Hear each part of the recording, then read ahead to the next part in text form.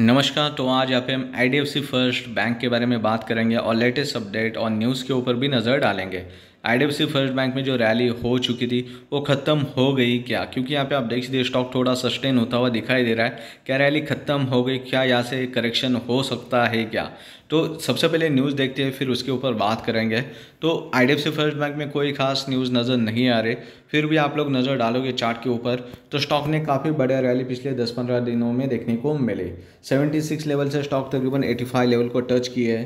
85 के करीबन एक रेजिस्टेंस लेवल है स्टॉक के लिए।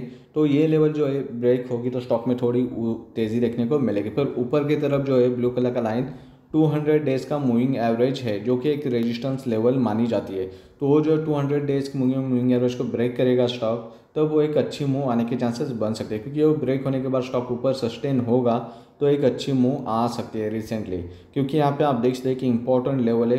जब ये 86 लेवल को ब्रेकआउट मिलता है तो स्टॉक 90 लेवल तक तेज़ी दिखा सकता है और ऊपर और भी जाने के चांसेस बन सकते हैं। क्योंकि अगर वॉल्यूम अच्छे आ जाए तो स्टॉक एक स्ट्रॉन्ग ब्रेकआउट दे सकता है। वॉल्यूम वीक रहते हैं तो स्टॉक फिर से ऐसे ब्रेकआउट होकर एटी लेवल तक आने के भी चांसेस बना सकता है।